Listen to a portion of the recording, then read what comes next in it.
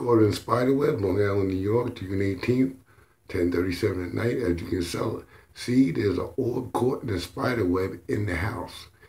It's swinging back and forth, back and forth.